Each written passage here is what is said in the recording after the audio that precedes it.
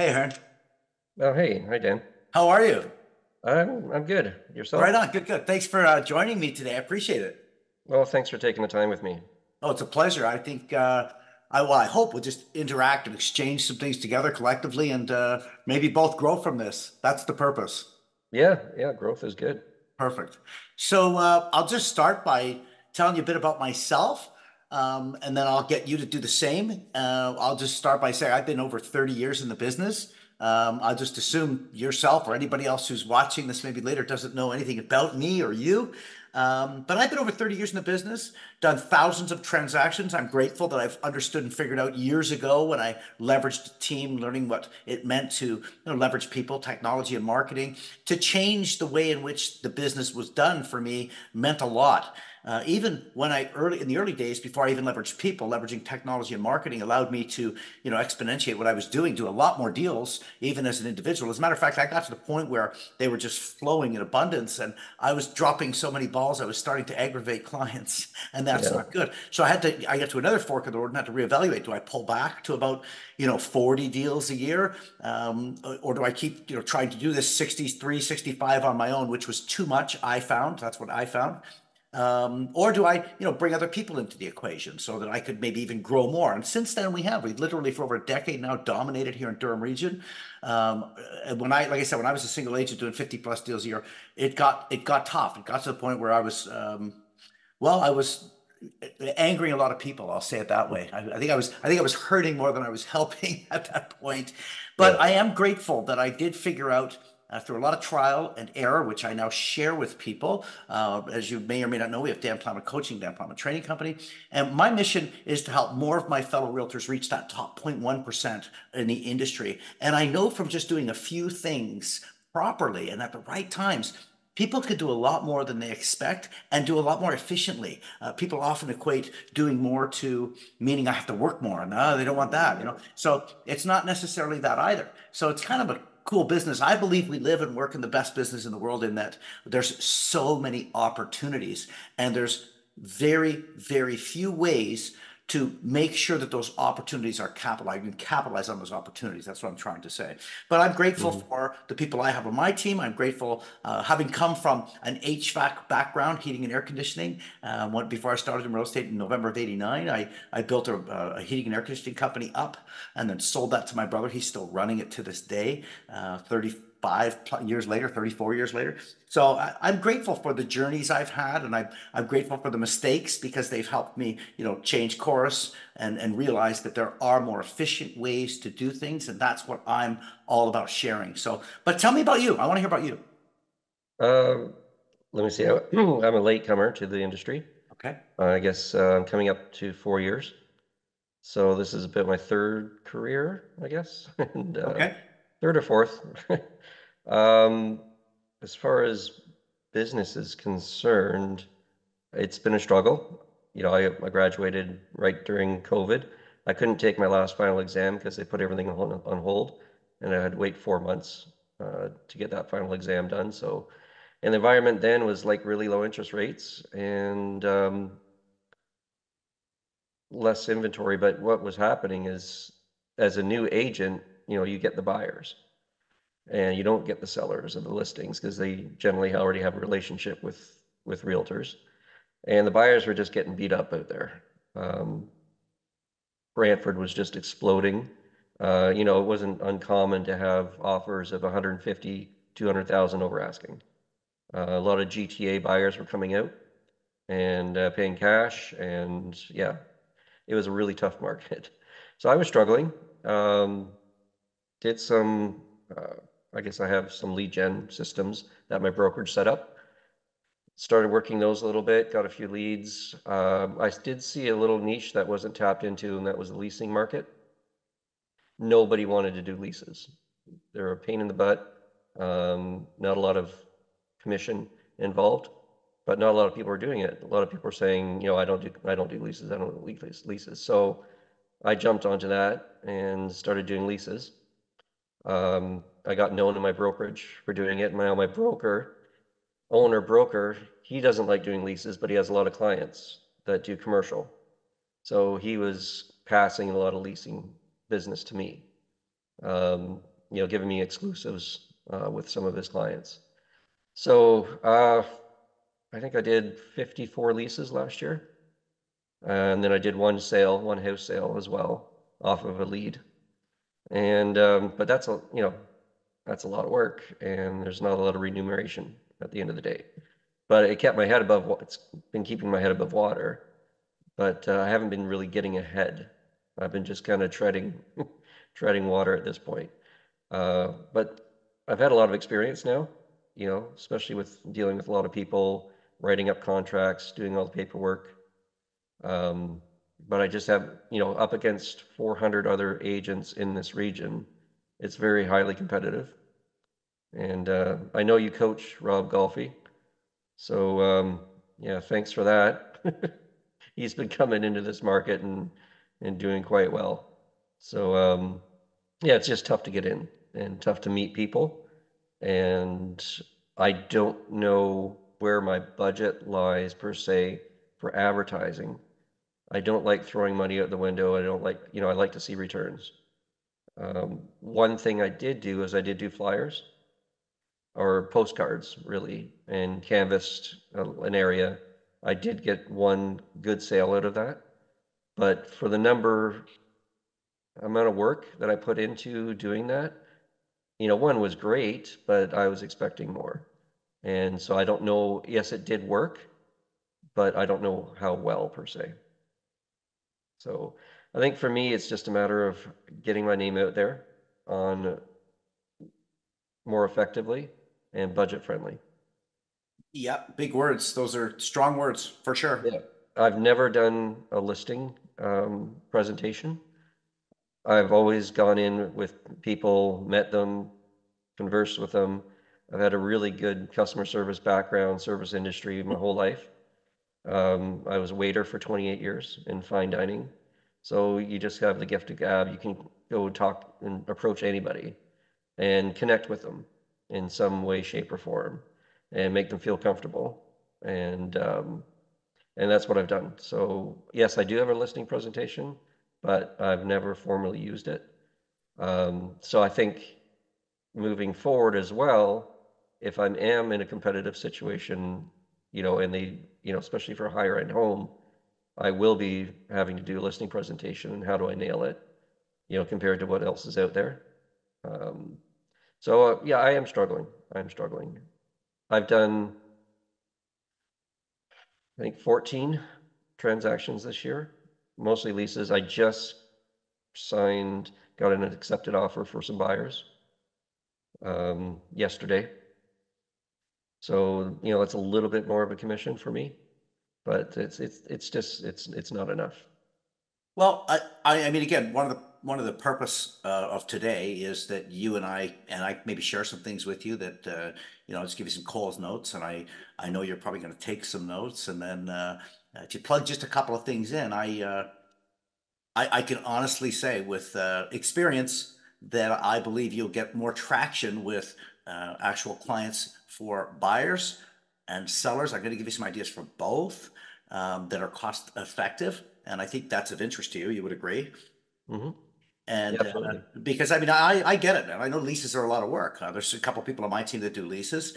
Uh, it's good cash flow, but it's certainly not what you want to rely on for the uh, the bulk of your income. I, and and it looks like you have been relying on it. But it's again, you know, you said I got, I survived, I got through. So good for you because you know those markets people started. I know a lot of people started in COVID. I know a lot of people are not in real estate right now. So good for you because survival survival matters. Here we Yeah, are. no, there were some agents that came in and, um, you know, they came in gangbusters at first and then they just died off and now they're, you know, working part-time jobs or, or they're, they're out of the industry. I've seen a lot of it. There was a quite a flow that started before and during COVID, and they're gone. And and it's a shame because a lot of them shouldn't have left the business, and well, maybe some of them should have. But that's another conversation. I can tell you're a people person, and I was going to ask, what did you do prior? But you did answer that question. You worked with people, so and it's obvious. So that's awesome because unique abilities matter, and you have a unique ability that aligns very well with our industry, and that's high likability and you know you, you know that you understand that you you've worked with people and and served people for years. So i'm grateful for that. This transition into more business opportunities um, will work for you. Uh, i will recommend a couple of things. The first thing i want to talk about is Buyers, uh, there's, there's, we're back to a really good time to attract buyers because the buyer's market has changed in that uh, multiple offers don't exist nearly as much as they did. I'm sure Brantford's very similar to the market here in Durham region east of the city of Toronto. It's not like it was during COVID when there was, you know, 30, 40 offers on a house selling 100, 200, 300,000 over, which we also experienced, by the way. So I, I believe that you're seeing more uh, opportunity for buyers to look at four and five homes uh, or six homes, where before it was like there's two and we need to decide right now, and we're going to be multiples on both of them, right? Yeah, yeah. So it's a better, more balanced market in that regard, which I like. I like that. Uh, a lot of my partners like that as well. So I, I, I strongly recommend that you leverage whatever you can in a cost-effective manner to uh, get in front of more people connect with more people um, and you know get past their um, conditioned responses, uh, if you will. Oh, I'm just looking or I'm calling for a friend, the conditioned responses, when really they're inquiring because they're considering buying a home. Um, and you can't just say that to people. Oh, I know you're lying and I know you're looking for a home or you wouldn't, you know. So, but, but I will tell you there's ways to do this. And I think one of the most cost effective, efficient ways, and I heard you talk about your, your brokerage. And I assume you, you're in a brokerage where there's a lot of people. Yeah, we have uh, approaching 40, 40 Okay. agents. So that's But- a, that's a busy But office. my, my broker is, is, you know, very supportive, very Mhm. hands-on. I, I sense that. So if I were you, one of the things I did very successfully my first few years in the business, and the partners on my team who start new or do this as well, um, they'll do open houses for other team members or other people in your brokerage. You do do, do open houses for homes Mhm. that, that want the open houses. I recommend you get into open houses as much as you possibly can. I used to do Thursday nights on a busy street, seven till nine p.m., and I would do Saturdays from twelve to two and two thirty to four thirty. Sundays twelve thirty to two thirty, or twelve to two and two thirty to four thirty. I would do five open houses a week. But that was that was me. I mean, I was you know you do you know you do twenty open houses a month, and it's pretty difficult to not come out with a couple of deals. Right. It's difficult to not come up with a couple of deals. I'm a people person. You're a people person. If you connect with people and meet people, and sure, I mean, it, it, it means high volume. It means a lot of open houses, and sometimes you go through three in a row, and and nobody either shows up or everybody has an agent, or so they claim. But there are ways and things to do to make open houses more efficient, also. So the first thing is get as many open houses scheduled as you possibly can. That would be my first recommendation to you. And then advertise those through social media and through your board. There's ways to do that as well so that you get the attraction of people that are inquiring because buyers are interesting. They are able to uh, see a lot of things online or through, through social media uh, and, and they don't want to call or talk to a realtor too early when they're in the buying cycle. So you're going to capture these people early on because they're going to come and see the open house because it means I don't have to call an agent. I can see this house. I don't have to talk to anybody. But when they get in front of you, they're going to realize how nice you are, how wonderful you are, and okay, yeah, we'll work with you. We trust you. So that so there's an opportunity there, right? And sure, there's a lot of agents who just send their people through open houses and already signed an agreement. I understand that, but there are ways to ensure that that is you know factual. And you ask people you just ask them when you meet them. One of the best things i find we found working open houses efficiently is to ask people for their help when they come in. Hey appreciate you coming. You just if you have a few minutes we go around you just do me a favor and tell me what you like the most about the house and what you would recommend we you know maybe improve upon so i can share that with the sellers. I would love your help. Would that be okay? Hmm people love to help. They'll say, absolutely, yes, I'll do that. So no strings, no talk about, hey, are you buying or selling? Do you have an agent? Will you work with me? None of that. Just I want your help with something. Can you do the do, do me this favor? People love to help. So what but what it does is it puts them in a state of going around the house, checking it out. They're doing a little chore for you, if you will, and they enjoy this task. And when they come back, they'll actually come and report to you because they told you they would. They would come and talk to you.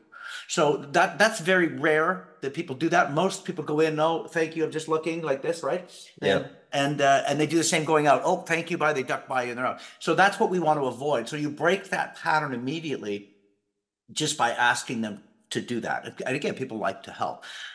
It's going to allow you to then connect with them before they leave. And that's when you say, hey, thanks very much for doing that. I really appreciate it. Oh, by the way, have you been looking for a home for long? How are you searching? And you can tell them a better way to look for homes that you're going to give them and show them. It doesn't cost anything. And you can explain that to them and ask them at that point, are you working with a realtor? Um, you know, and, and, and, and are you fully committed to that realtor? You know, so these are the questions you can now ask once you've broken the ice, if you will. So I, I think that that's a great way to pick up a couple solid buyers a month, and I believe you would. If you do that for three months in a row, and if you can pull that many off, 20 plus a month, I, I, I will tell you it, it, sincerely, statistically, that you'll have a completely different flow of business moving in your direction than you've experienced thus far in your career. And you're just getting started, let's be honest. Mm-hmm. Yeah. So, so that's. I that's, think the, the issue there is I have been looking for open houses. I have done a few from a Mhm. broker and, um, they are limited because a lot of agents are, you know, at the same time, they're looking for that business as well. Uh, Sure, So the sure. opportunities are not coming up. They're, they are there and I have taken advantage of a few. Unfortunately, they're out of town. But, um, you know, it, how to, it's hard to jump in and do that many when there aren't that many available right now. So pull, pull your listings that are available in your office. Um, and whatever's been on the market for more than seven days, go to that agent and say, I'd like to do an open house here Saturday and Sunday.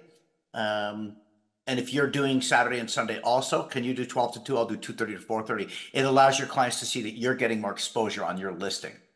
Right. No, nobody in your office, trust me, is doing, you know, four open houses on a Saturday and Sunday. They, they might do two. A busy agent will do two. A good, most agents will do one. Most agents actually do none. So if you go to them, and I mean a week ahead of the weekend, like a long time before the weekend, they'll call their clients and say, "Hey, I got my partner wants to do an open house this weekend," and tell them what to say. Call and say, "My partner wants to do an open house this weekend."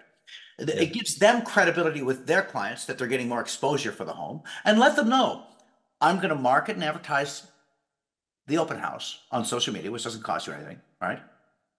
Yeah. To post it. And I'm going to do the open house Saturday, Sunday, and I'm going to give you feedback.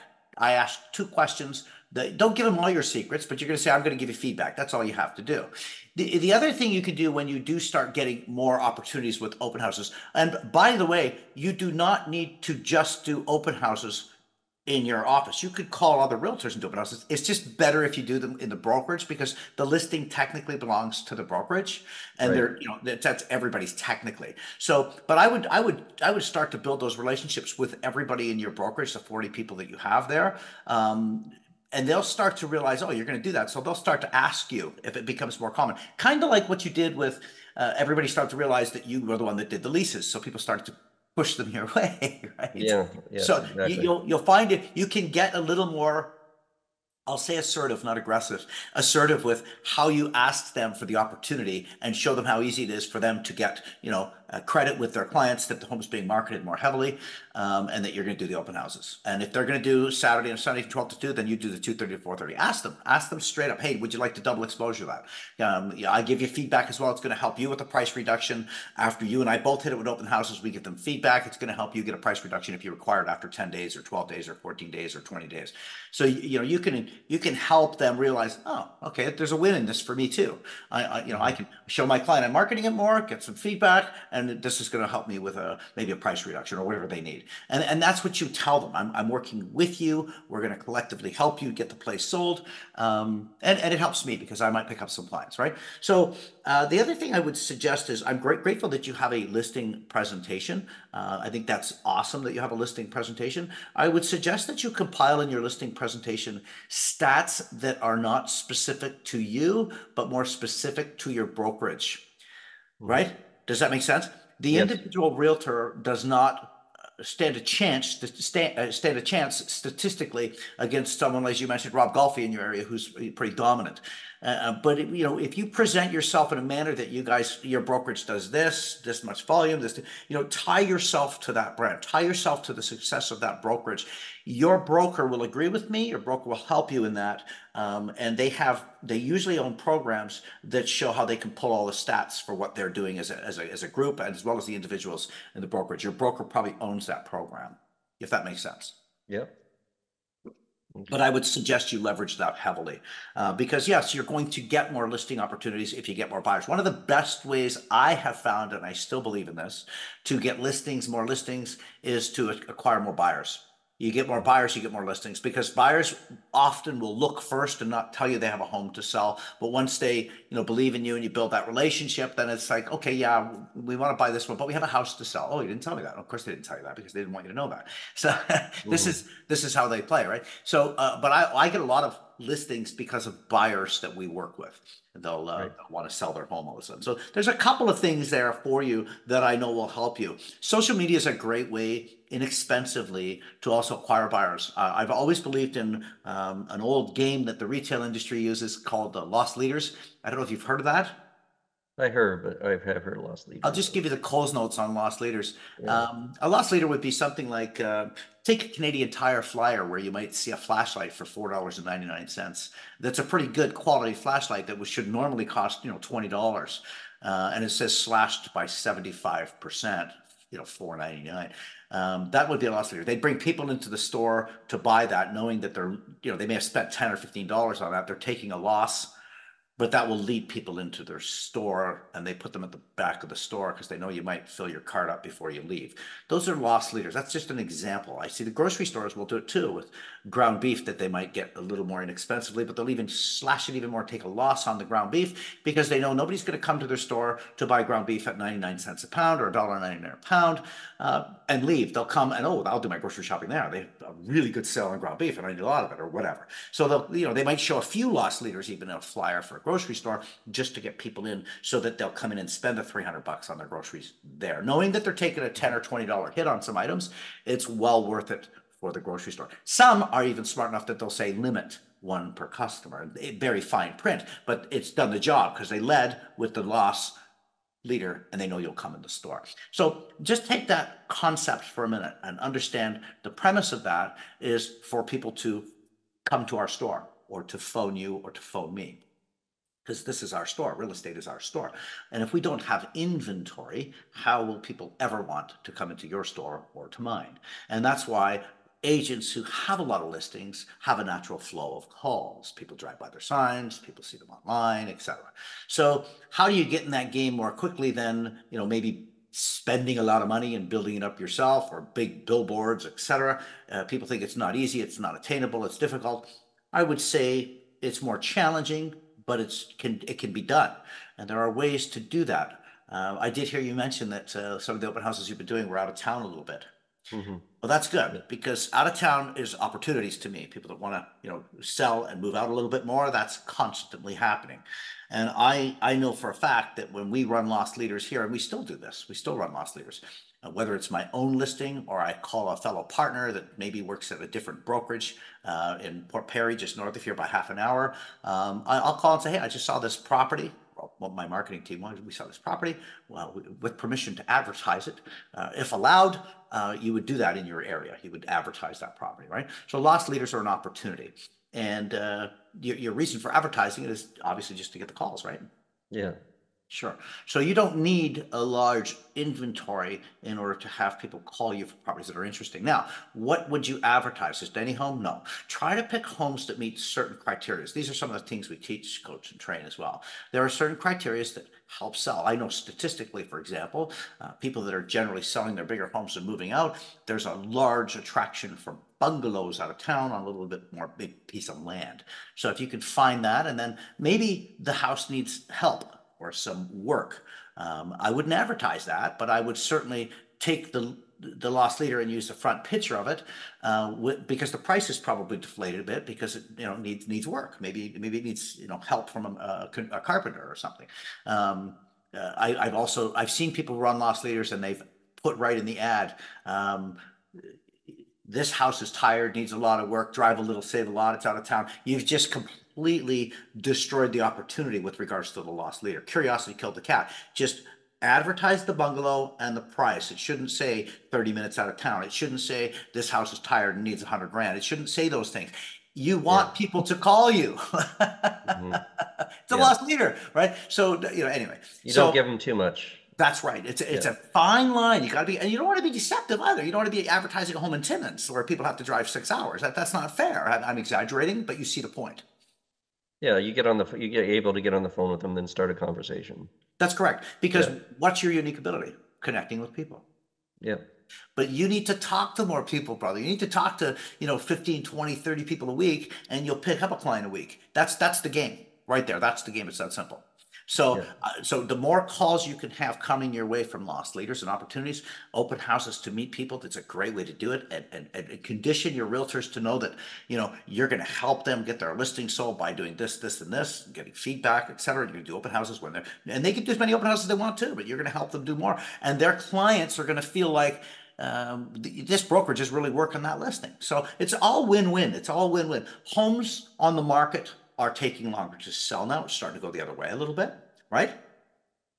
Um, last few weeks have changed since the uh, interest rates have dropped. I've, I just put an offer in on a place and there was twenty-three other offers. Yeah, we're, yeah, we still see, we still see some, but there's, but then there's other homes that have sat for twenty days. Yes, absolutely. right 100%. so and and that's where you're that's where you're kind of you know th- there's an opportunity in all of this but absolutely yes i know we still see it's such a strange thing uh, i called it microbursts the market that we've been in is micro these microbursts up and down we've experienced for the last few months and weeks and uh, but yes i'm also noticing a separation in homes that are you know priced aggressively holding offers, multiple offers, and then some of those even offer holds, they cancel relist at a regular price because they didn't sell come Yeah. the offer. So, but yeah, we're seeing a lot of different thing, mixed bag. But to me, that just screams opportunities. There's different opportunities in all of those things. And the one that you sold in multiple offers, uh, it was obviously you know priced aggressively, and then you know you won. uh, You said you won the offer, right?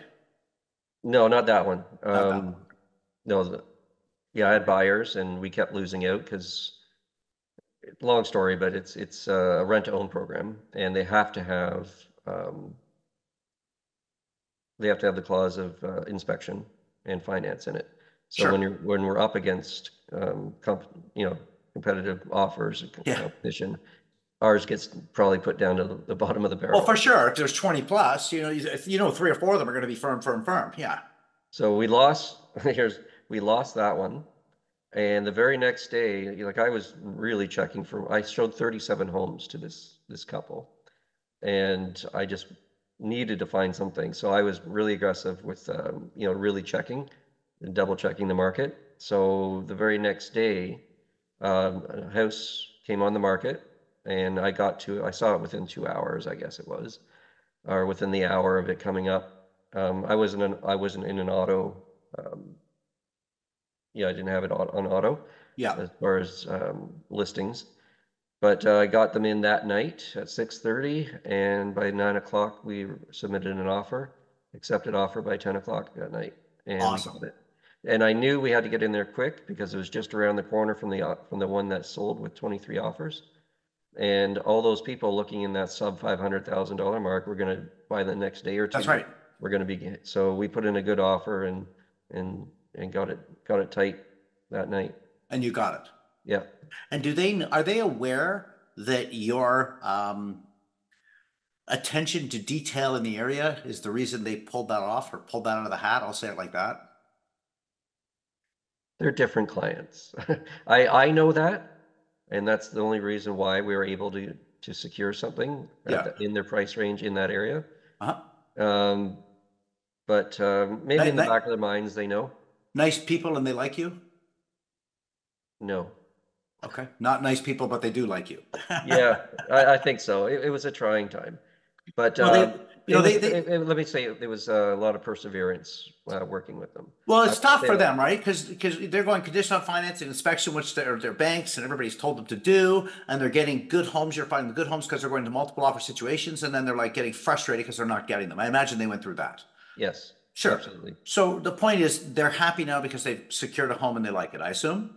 Yes. Okay, so that's the time right then, by the way, to get a written or video testimonial, whatever you can get. That's the sort of things you want to keep building as well, right? Important. Yeah. Well, out of that, um, it's, I'm working with a company called Jag Properties. Okay. It's a rent-to-own program. They own over 300 homes. And I was working with their clients. So really, my client was Jag Properties. So they knew how hard I worked on this. And I built a rapport and how good I was at, at communication and getting contracts in. And, um, you know, listening to their needs as well. And um, so after I secured this for their clients, um, I said, look, they, they actually offered saying, we don't have an agent in your area.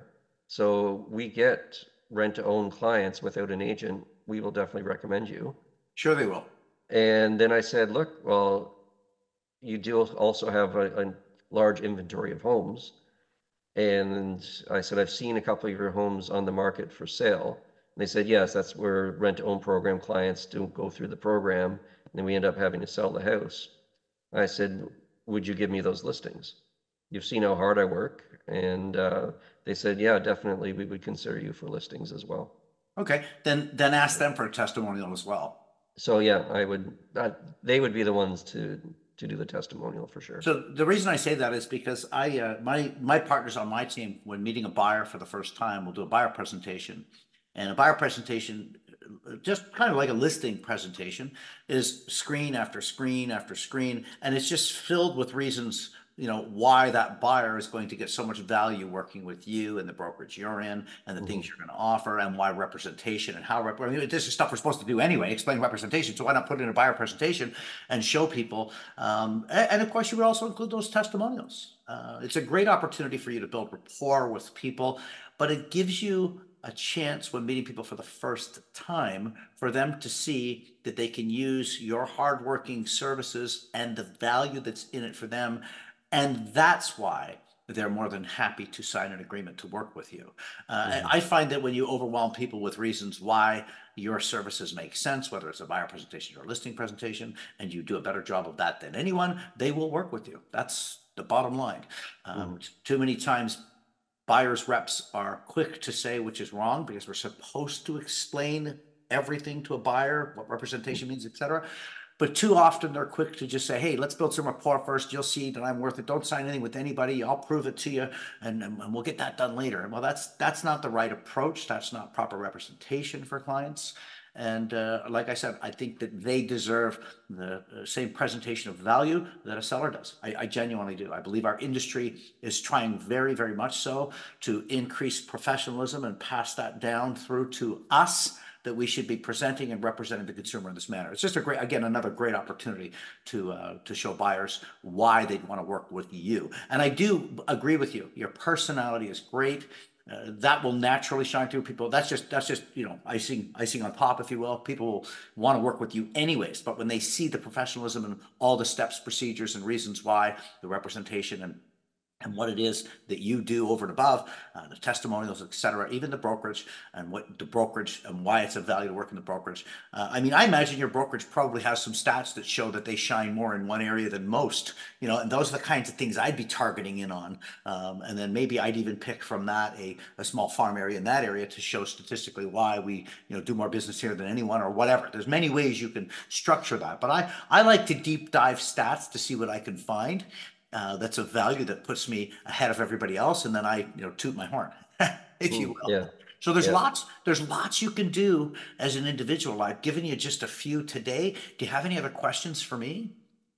Um, no, you know what? I've, I've I've read up on you. I've watched some of your videos and on your site and stuff. So, um, yeah, I think uh, I don't have any questions at this time. Cool. Well, hey, we'll, we'll for sure follow up with you. And I'm grateful you took the time today. I'm always here if you email or have questions, whether it's through the office or through Sean. Um, I look forward to chat with you maybe again. And I wish you all the best. Yeah, actually, I'm going to be in your area this weekend. Are um, you? Yeah, I'm going to be public speaking, um, presenting my book. And um, yeah, and my parents live uh, Uxbridge, Pickering Town Line Road. Tell us about your book. Oh, it's a bit, I had a near death experience Oh, in 2018.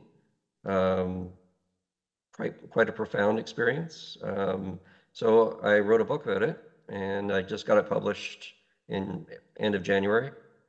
And so I've been do, promoting that, doing some podcasts. I just finished my third podcast. This one was out of England. Uh, I did a couple from the States, and now I'm going to be speaking in a church in the Stouffville area, just outside of Claremont and uh, I got three congregations coming out. Wow. And so I'm doing that this Saturday. And then I'm meeting in your area. I, I do have a big real estate project I'm working on. It's an assembly. So I might be meeting my team. I have an architect and a marketing team that I'll be meeting there. We had an unfavorable pro forma um, in the development. So we're trying to work through that. Well, if you need help with that assembly, whether it's a co-list or anything on my marketing team can do or I can do, I'd be happy to be and partner up with you. Let me know if I can help in any way. We do have a, a well-known name here in, in the area, and I wish you the best with your presentation this weekend. Please let's you. stay in touch. Yeah, no, appreciate, appreciate your time. I know it's valuable and I have taken notes. I'm gonna go through them and I am going to, um, I'm gonna be praying about our possible relationship in the future. I look forward to it. Please implement some of the things I suggested and let me know how you make out. I appreciate you. I will, and Sean's been really good, really nice to talk to you as well. Nice. Okay, thanks, Dan. Thank you. Great chatting. We'll talk soon.